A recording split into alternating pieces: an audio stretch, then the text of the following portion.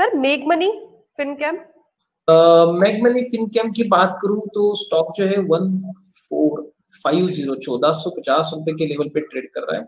और एक अच्छे अप ट्रेंड में स्टॉक था, चार सौ रुपए से बढ़ते बढ़ते सोलह सौ रुपए तक गया था। और सोलह सौ रुपए से थोड़ी सी गिरावट इसमें लास्ट तीन चार दिन में हम देख रहे हैं कि बन चुकी थी।